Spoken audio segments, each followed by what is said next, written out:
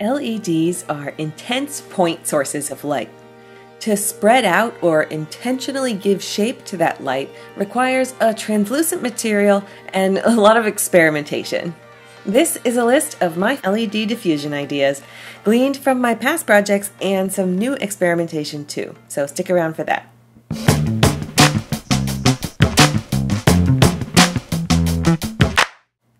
You'll find a link in the description to the companion instructable for this video, full of links to tutorials containing these techniques as well as where to find the materials I mentioned. We'll start out with an easy one. Just use a box, either homemade or easily found shadow box frame, for example, and line the inside with plain printer paper.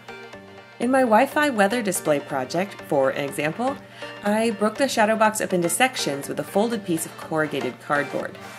Then I taped some pixel strips to the back, shining into each triangle shape. The simplest form of this technique can also achieve a great result, and that's just to line the walls of the box with a single LED strip. Make the inside of the box white so the light can bounce around, and create a cutout face with the design of your choice. If you're looking to smooth out letters on an LED scroller sign, the next obvious choice beyond paper is woven fabric.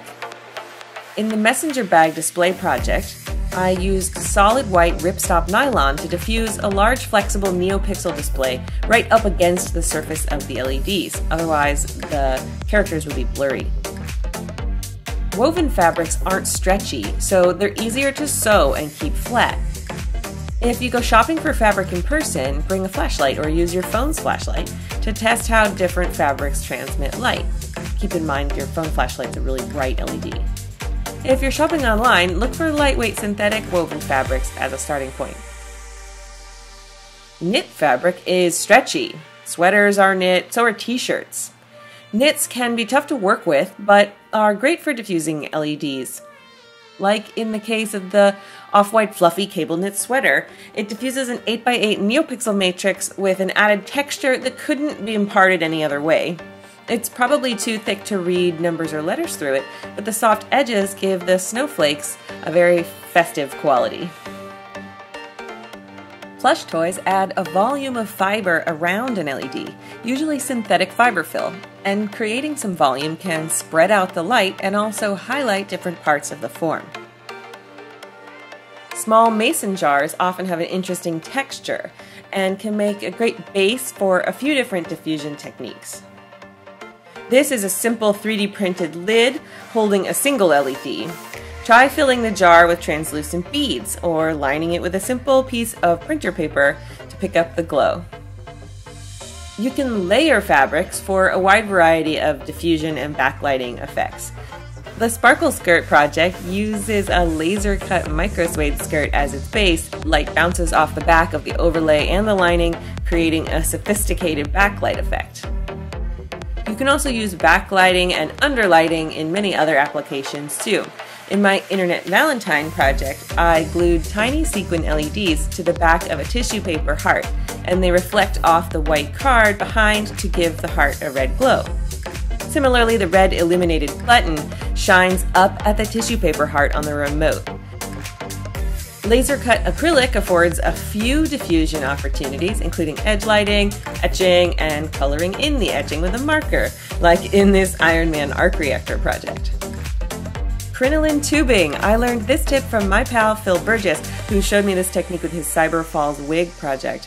The crinoline tubing fits great over LED strip that's still inside its silicone sheathing, which gives it some structural support, and catches the light with its cross-woven synthetic fibers. To test out the next few techniques, I built a sample circuit with some NeoPixel strip and individual pixels on a scrap piece of foam core board. I'll be able to use this sampler in my classroom this fall, and it's also great for showing to costume clients. Ping pong balls are a classic diffusion idea that's not used nearly enough in my opinion. Cut them in half or cut a hole just big enough for your LED. Blast it with a cluster like a NeoPixel Jewel or use a single LED. Also underutilized in the maker scene in my opinion is thermoplastic for diffusing LEDs. This stuff comes in little beads you soak in hot water to make it a pliable dough. It looks great over powerful LEDs, but the more that's on there, the less light will get through since it's pretty opaque once it sets up. Different glues have different light transmission properties, and it's worthwhile to explore what magic you can make with the adhesives you already have access to. For this demonstration, I tried out hot glue, E6000, some silicone substitute, and a common household glue stick. I was surprised to find that the tiny glob of hot glue on just the 50-50 pixel package itself was durable and not easy to peel off. It gives a wide angle and pleasant lens effect and might be my favorite result out of this little testing process. There have also been many 3D printed LED diffusers in my life over the years. It seems unfair to group them into one idea here, but them's the rules. Most have been made from flexible filament with a few notable exceptions, and the Ruiz brothers collaborated with me on all of these 3D designs. I hope this video provided you with some sparks of inspiration for creating your own next level LED creations. Let me know about your projects and plans in the comments below. Please give this video a thumbs up and subscribe if you haven't already. I release new videos just about every week about crafts, technology, and my life here in New York City. See you next time.